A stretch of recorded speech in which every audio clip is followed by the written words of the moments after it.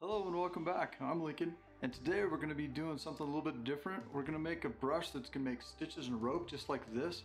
Super easy and super fast. It's just like painting them on. You're going to use two brushes for the stitches to make them a little more realistic, but we'll go through everything and how to make them. Alright, so grab your iPad let's get sculpting. Alright, first thing we're going to come in and we're going to increase the topology on this, so we'll subdivide it a few times. Now you notice these, I had in a comment in the last video, these menus have changed a little bit just so you know where they're at. This is topology now and that's your scene menu. Just for any of you that hasn't seen this yet, I'm st still in the 1.66 right now. It's the beta version. First thing I'm to show you a quick demo of how these work and we'll leave symmetry on for a second. Now I want to show you, that looks pretty good right here, but if you if you get a little too far off off camera, off the camera view, you see these look pretty good and then this brush will start to fail on you up here if you're out of out of sight of it. But if we turn symmetry off, so you can see if we bring it up here on camera, we can still bring it up and get it to match up pretty good. So that looks pretty nice right there.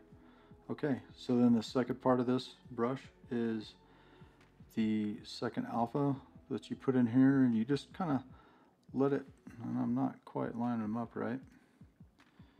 Bring it in here and just let those stitches fall in just like that and you can kind of see how the stitches fall just like that.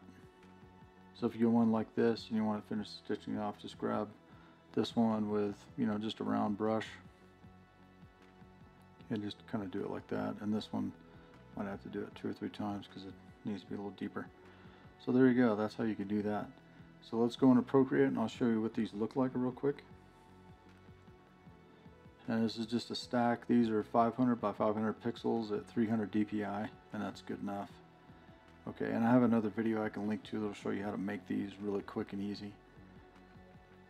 So we'll go in here and grab the monoline and the calligraphy.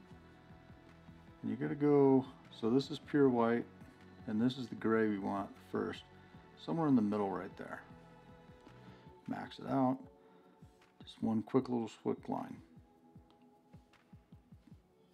Go to the eraser, airbrushing, medium air, medium airbrush.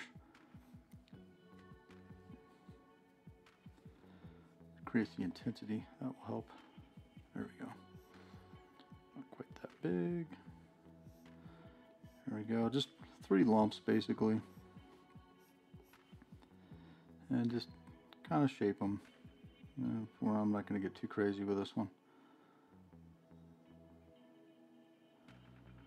Now, I'll go through this real quick. It may take you a few tries to get this right. I know it took me two or three tries to get mine right, how I wanted it just right.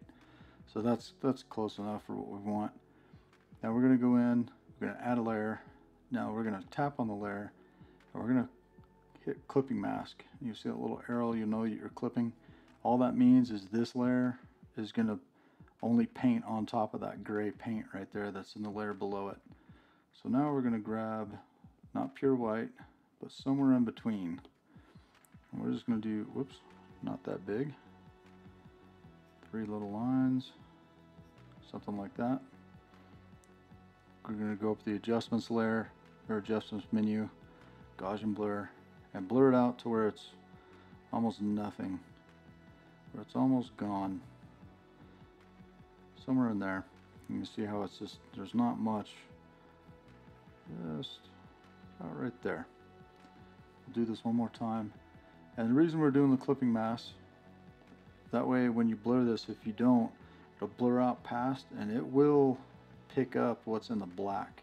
So you're going to make sure that you have that where you want it Okay, so this one, we're going to go ahead and go to pure white now. Three little dots again. Gaussian blur again. And blur this out to where it's pretty much gone. So when you look at it now, we've got a real nice gradation around there, and that's what you really want. So now we're going to grab all three of these layers the adjustments selection tab there. We're going to go to uniform. Let's get this thing set in the middle. Just like that where the two yellow lines are. It's perfect. Now we're going to grab one more. Just click on that to unselect all these, and if you do that, that selects them for you, so you can move more than one at a time. We'll grab one more layer. Now this one, we're going to go to pure black. Go back to this one, monoline good, we'll max it out. We're just going to go right around pretty much the edge of everything. This way when we blur this one this time, we just want to blur it to where it's still has an edge, but it's not as much. And if you want, you can always come up and erase just a little bit of that out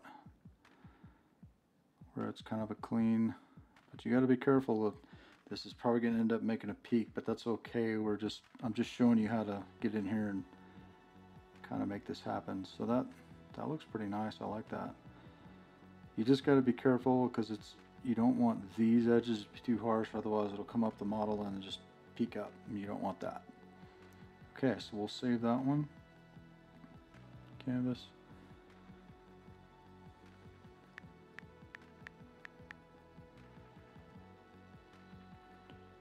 Share it as a JPEG. Save to files. Nomad Alphas. Save.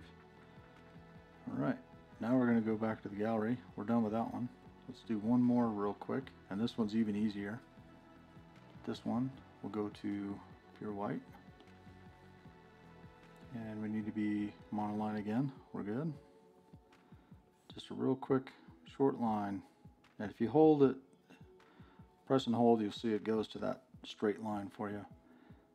Now we're going to go to transform tool again, uniform, and we're going to bring this this one to the center.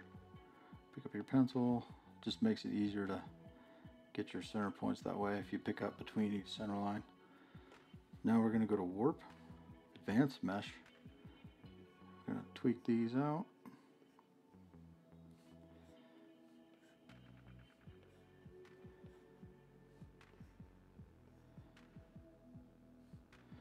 It's just a matter of getting it just how you want it. You want those to be kind of, those legs to be out a little bit like this. It goes, you want it to kind of go around the stitching. Quit. Okay, like that. And then actually we'll go to freeform and let's squeeze this down just a little bit. That'll, that'll fit better. And back to warp. Maybe yeah, we better do advanced. A little bit more squeeze on the sides. That looks pretty good. Now we're going to come in the eraser, medium hard again. Just knock those points off. You don't want the real sharp points. That'll that'll give you problems in your mesh later. Now, we're going to blur this bit. If you don't do the blur, it'll be so it'll be really harsh and you want a pretty good blur on this. You can see that's it's got quite a bit of blur something like that. And we'll just check to make sure we're still sort of in the center again.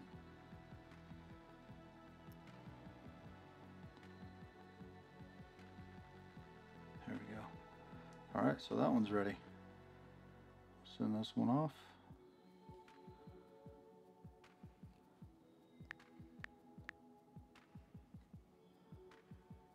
JPEG again, save the files, Nomad Alphas, save. Okay, we'll come up here. Now we need to swipe up and close Nomad. Now we got your two files coming in. If you don't do that, you won't get your two files coming in. So these two, these two were cloned off these two, and these two were cloned off. One was off the layer, and this was off the brush. So that's just different properties and I, I go over that in a different video as well. So we're going to click on the extrude and clone that one.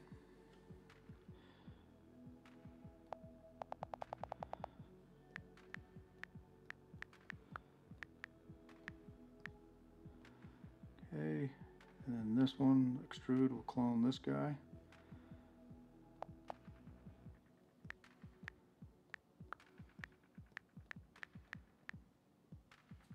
So that's the two. So now we'll fix our properties.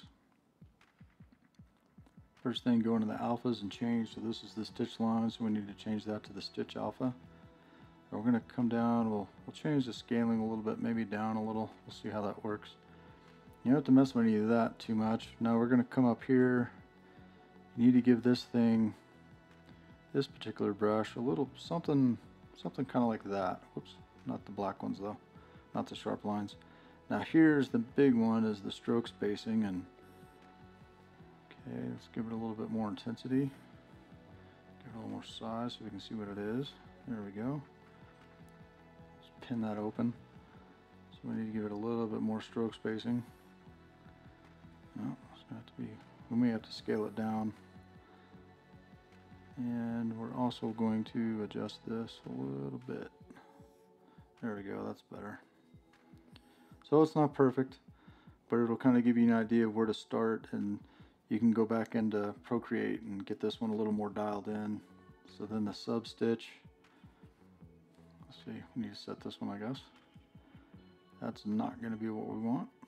Okay, so we got that for the alpha. And the scaling, that's probably about right. Now this one, the fall off on this one's way different. Oops, that's still not it.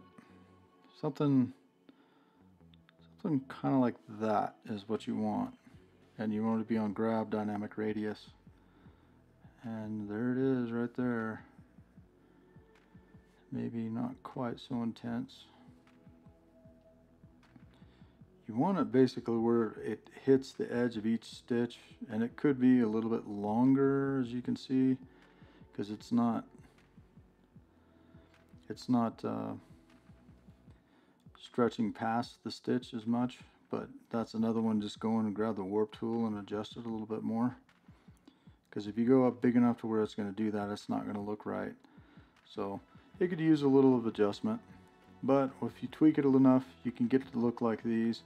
I want to show you that once you once you get this dialed in you can turn this one into a rope really easy if you decrease your spacing, now you have a nice rope that goes all over the place. If you rotate this stitch now, you can make a stitch pattern like this. And it's hard to catch it just right, but if you get it just right, you can get it to, you can make the X's, which is kind of tough. Let's increase the size and it'll make it a little bit easier. It's kind of cool if you want to make cross stitches. We also need to increase the spacing a little bit. There we go. That'll be easier to catch the opposite rotation. About right there. You can make those. There. Rotate back again. And it's just a matter of where you place.